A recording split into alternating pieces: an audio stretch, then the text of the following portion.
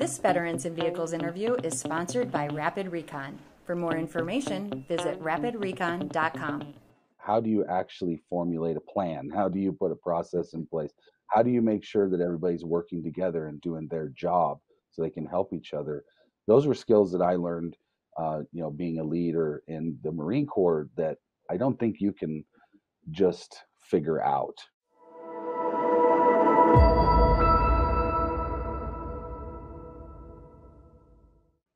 Hi, everyone. This is Susan Givens, and we are bringing you another Dealer Insider. Today we have Jonathan Hinshaw. He is from Northern Colorado Powersports, and that's a John Elway dealership. So this is a little different today. We um, we normally interview like automotive dealerships, but there's such a connect between power sports and automotive right now, and um, and even more importantly, Jonathan has served in the Marines, and we want to talk to him a little bit about that. Jonathan, how are you doing? I'm doing great. Thanks, Susan. It's awesome to be here. Well, thank you for joining us, and um, just tell me a little bit about yourself, your your experience with the Marines, and how you came into the automotive industry. Well, so I think just going through the Marines, I was I probably wasn't the greatest teenager, so I needed some direction. So going into the Marines, it gave me direction, purpose, you know, built my character up. And when you come out of the Marines, you're kind of like, well, what now? You know, like I, I wasn't a mechanic. I didn't have a lot of hard skills. And I saw an ad in the paper that was hiring car salesmen. So I gave it a shot. So, you know, 24 years old, not really knowing what I should be doing or what my skills actually are. And I found the car business when I was 24 and and I worked in that business for a long time. I, I cut my teeth in the auto world, but the skills I learned from the Marines, just doing doing the processes, following orders, if you will, uh, those all helped me to really excel in auto. I think the biggest thing was just having uh, pride in myself, knowing I can do whatever I need to do, and that helped me excel pretty quickly at first in the auto world. That's awesome. So I know you've taken some experience from the Marines and you've you've applied it to your to your day to day. You you've set up a veteran sales program. Can you tell me a little bit about that? Yeah, so I think a lot of vets were similar to me. You know, you get out and you're not really sure what to do. I, I was honorably medically discharged. And so with some of my injuries, a lot of jobs were just not an option for me. So I hooked up with all of the local recruiters, um, all for all the branches, and connected with the VA, and I, they just know that I'm I'm looking for people that want to work. You know, I I can teach anybody sales. Sales is not a born trait; it, it's a skill you learn. And so, if, I can just get somebody that's got some drive and wants to do a job in retail, working with people, then uh, then I can teach them. So we have a program where the recruiters they usually will call me and say hey i've, I've got a, a younger guy that just needs direction you know he might be good lot tech or hey i've got a pretty mature guy been in 10 years he reached out to me you know looking for work what do you have for him so it's it's really kind of an organic relationship and mm-hmm. you know the va i actually have a salesperson that used to work at the va and so he goes to the VA, and you know we do donations or help or or what have you, and so he brings uh, more candidates in that we can talk to. That's awesome. So it's been pretty successful.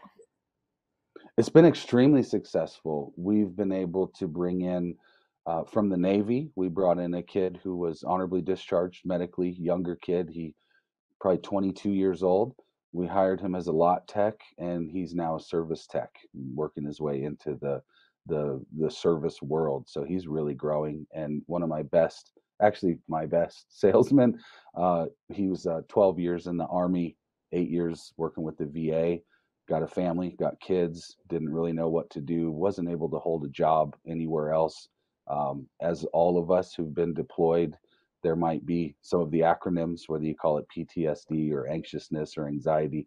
And this job has been able to just help him succeed without you know the the problems that would happen uh, in a normal environment it's probably been really helpful to be surrounded by peers too that have been through similar situations the, it really is. You know, these guys can really lean on each other. Um, we can all lean on each other, and sometimes you're having a bad day in sales. It's not the easiest job. So having the structure and the support for these guys, it's it's pretty awesome. It's pretty cool. Awesome. So tell me about um, how you use your skills that you learned in the Marines in your day to day. You know, as as far as maybe selling or training new people or hiring. You know, what what did you learn in the Marines that you are applying into the dealership world now? Well, it's funny you mentioned training because that's ninety percent of it, right? Is is having a good training program. Uh, we we have an onboarding program, and it's just like you would be in the military. You know, it's step by step. Here's how we do the job, and so creating those processes that I learned how to do in the Marines. You know, how how do you actually formulate a plan? How do you put a process in place? How do you make sure that everybody's working together and doing their job? so they can help each other.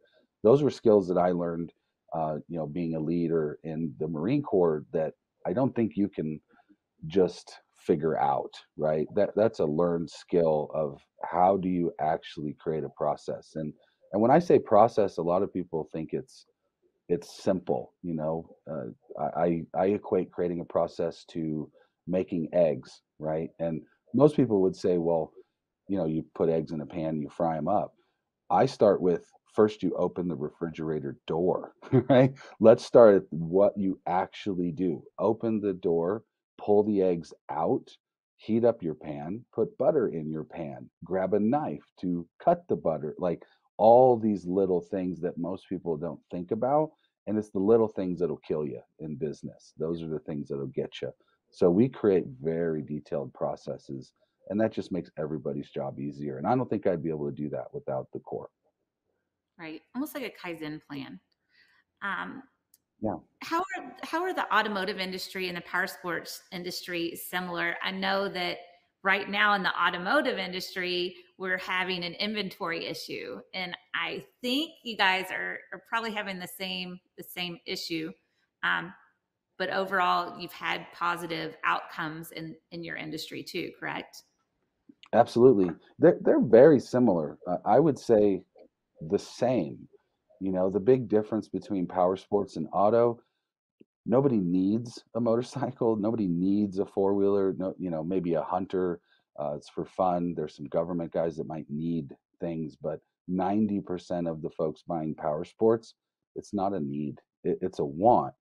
And so, with that caveat, they really don't have to spend money with me today you know they they can take their time and so it becomes really important that we do a good walk around land them on the right unit and in that aspect it is the same as selling mm. auto it's the same process i think what what makes it a little more difficult you know we we deal with different margin levels we deal with different products and so it's hard to find folks that can deal, especially up here, with the seasonality and some of the the lighter weight deals. Right, we sell dirt bikes for three thousand dollars or something like that, where your average car is thirty grand or forty grand. So the amount of work, you know, I've got to sell a hundred units to kind of make it work rather than a car store that could probably sell 50 and make just as much. So, in that aspect, it's a little more difficult, but the fun and the family atmosphere and the way we work in power sports in general, that is very different than cars. Cars is a little more high pressure, a little a little more aggressive. And so that's the only caveat. That's the only difference is a little bit less pressure in power sports. But we all have inventory issues. We can't get parts. We can't get inventory. We we're pre-sold out of things up into 2023 right now, waiting on stuff. It's it it is the most unique situation I've ever seen. What are you guys doing to kind of overcome that and keep the customers happy that can't maybe get the products or the vehicles that they want?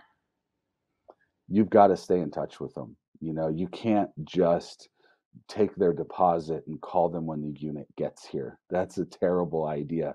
So that probably makes it a little more difficult. And I think in the auto world, they need to do the same thing.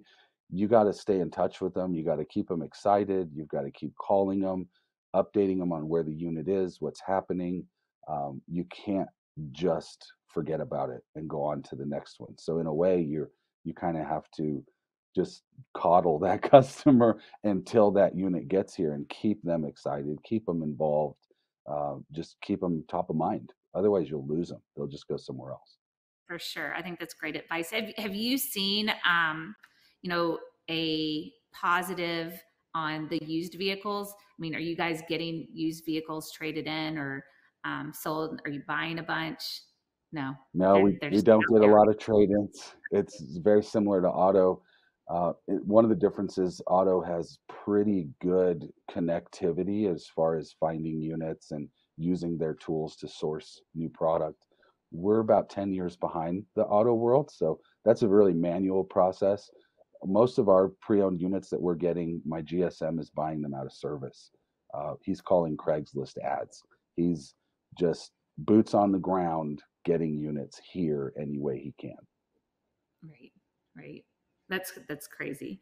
Um, what advice can you give our audience to help better their career in the automotive power sports industries? So I, I love that question because I think there's a lost art of mentorship.